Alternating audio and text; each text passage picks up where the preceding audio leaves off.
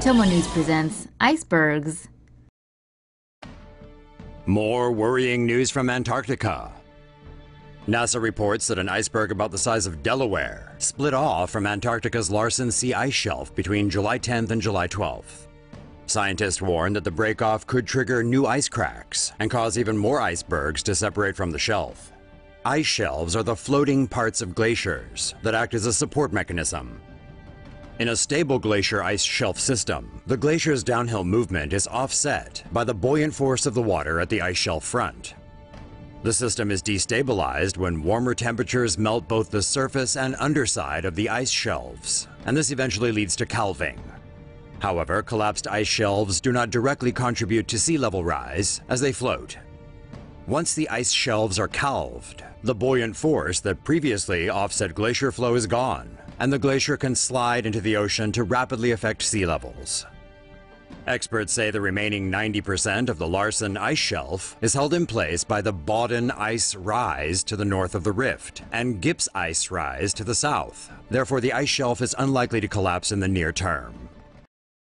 Huge trillion ton Antarctic iceberg now adrift at sea. A mega iceberg that had broken off from Antarctica is now drifting out to sea. Oh, great. A massive iceberg around the size of Delaware that had broken off from Antarctica is now floating out into the Weddell Sea. Recent satellite photos show the A68 iceberg appearing to move away from the Larsen C ice shelf. It's over 2,200 square miles, weighs about a trillion tons, and has a volume twice that of Lake Erie. Experts say the iceberg will break up into smaller pieces and float northeast as it makes its way out into the open waters of the Southern Ocean. Scientists are concerned the smaller pieces could then drift into shipping lanes. Pieces too small to track by satellite could pose major risks to passing ships. Some researchers have said the calving of the iceberg was a normal event and not caused by global warming. Mega iceberg breaks up with Antarctica. This is the winter wonderland known as Antarctica, and it just lost a whole lot of volume. This week, an iceberg broke apart from the Pine Island Glacier in Antarctica. Loss of ice from the glacier contributes to a 1 millimeter rise in the world's oceans every eight years. The part that broke apart is said to be 4.5 times the size of New York's Manhattan Island. And the word is, glaciers are a much cooler place to live than Manhattan. Iceberg ahead!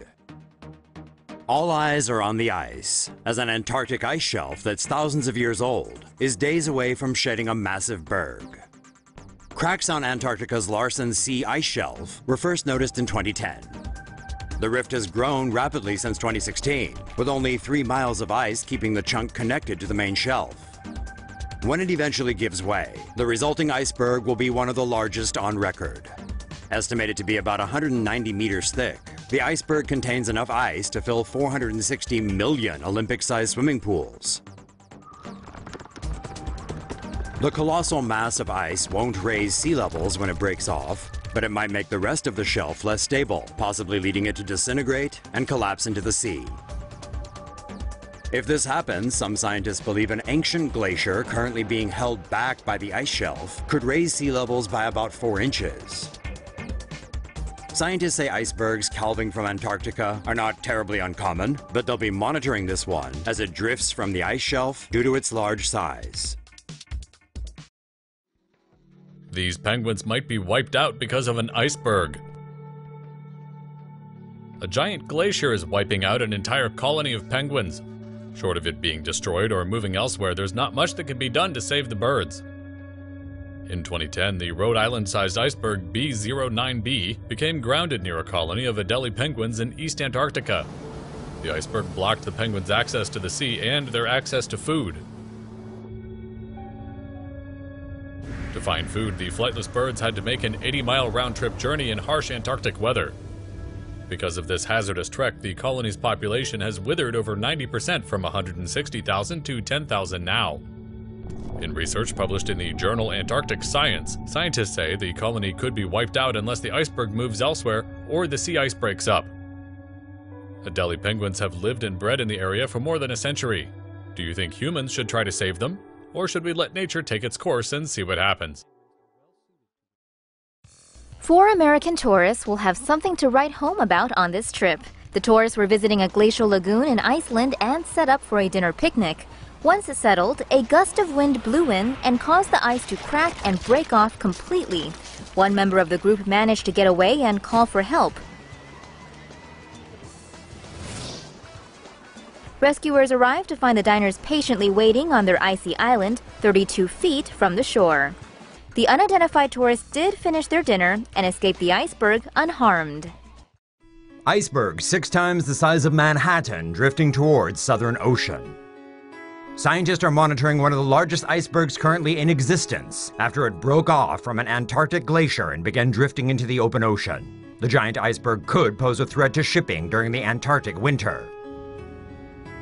The iceberg, labeled B31, measures about 660 square kilometers and is said to be roughly six times the size of Manhattan. It is estimated to be around a third of a mile or 500 meters thick. Since November 2013, it has slowly separated from Antarctica's Pine Island Glacier and will likely soon be swept up in the currents of the Southern Ocean. Researchers are concerned that when that happens, the iceberg will become more difficult to track. And since they don't expect it to melt due to its size, the iceberg could hang around for a year or even more. A crack was found in the Pine Island Glacier in July. Over the last few days, an iceberg has begun breaking away from the glacier. A kilometre of clear water can now be seen between it and the glacier. The iceberg is as big as Singapore. It is currently being tracked through the Drake Passage. If it follows its current trajectory, it will enter international shipping lanes. Seabed life doubles in ocean warming research. A team of British and American scientists investigating the impact of ocean warming on marine life did just that, warmed up the ocean. Scientists placed heated panels on the seabed near the UK's Rothera research station on the Antarctic Peninsula. The panels heated the water a few millimeters above them for a year, with researchers checking in and photographing the area periodically. Researchers found the amount of sea life there had doubled after a rise of 1 degree Celsius. But after an increase of 2 degrees Celsius, only certain species continued to grow. The encrusting bryozoan grew almost twice as fast under the experimental warmer conditions. The scientists say the results provide insight into what species of seabed life will survive as the oceans continue warming over the coming century.